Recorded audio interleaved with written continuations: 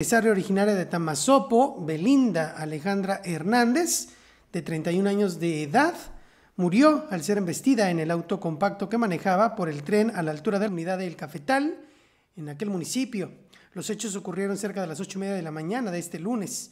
La conductora, quien sufrió lesiones graves por las que ingresó de emergencia a la clínica del Seguro Social, donde horas después se reportó su fallecimiento.